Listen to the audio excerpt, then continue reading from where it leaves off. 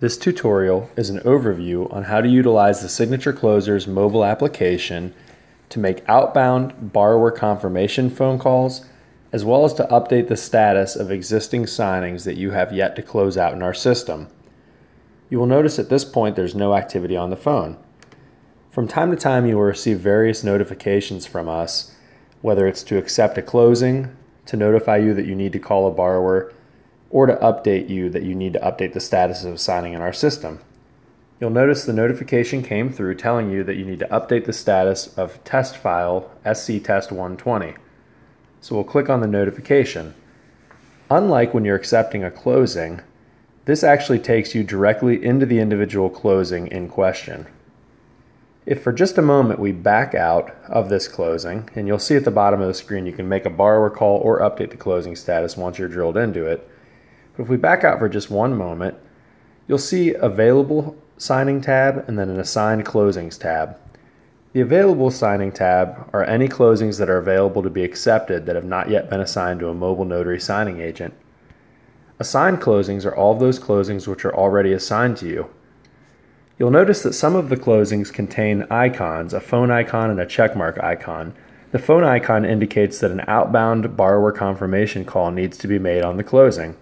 A checkmark indicates that it is the day of closing and documents have been forwarded, which indicates you can go into the system or into the mobile application and update the status of the signing. You will see that certain signings do not contain any icons. For instance, SC Test 121, the first closing on the screen, does not have either icon. The reason is because this is a lender buyer only transaction and there is no need to make a borrower phone call to confirm the appointment. You will also note that documents are not available, therefore, this closing is not able to be updated in regards to the status.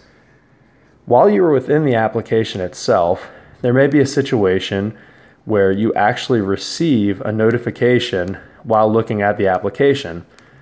In this situation, you will not receive a notice at the top of the screen, but rather you will receive a notification in, an, in the form of an alert while you're within the application. So we'll push through another status update and you'll see that status SC or updating the status of file SC test 121 is now a possibility. So we'll click OK.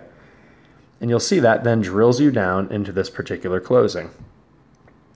If we back out for just a moment, you'll see that there is now a check mark next to this closing to indicate the docs have been forwarded and it is the day of closing. So you're now able to go in and update the status of this signing. So now we'll walk through step by step how to, how to make an outbound borrower phone call. So if we click on the closing with the phone icon to drill down into the file and click Call Borrower, a box will appear that asks if you are ready to make an outbound phone call to the borrower. Simply click OK and you will be directed to the dial pad on your phone to make an outbound call.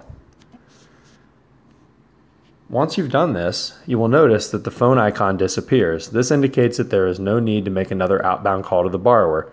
However, you will be able to still access the Call Borrower button at any point during the closing if the borrower call button was available originally.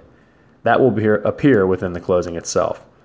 If we drill down into the same individual closing, you'll see the call borrower button as we indicated, and in the bottom right corner, you'll see a button for update closing status. Click this button, and you'll see a window that shows closed or trip fee. If you select trip fee, please be aware that comments are required. Once you click closed, you'll be asked if you collected funds at the closing table. Simply click Select an option, and you'll be given the choice of Yes, funds were collected, No funds were due, No, but funds will be wired, No funds collected, see notes. Please note we do require notes if you select No funds collected, comma, see notes, because we've also given, the, uh, given you the option that no funds were due and no, but funds will be wired. So if funds were not collected and it was not one of those other options, we need to understand why. For this example, we'll simply click Yes, funds were collected. We'll click submit and you'll see that it's saving the updated closing status to our software. Click OK. You'll notice that the closing is no longer in the assigned closing view. It has been updated and has been removed from your mobile application. Thank you for watching this tutorial.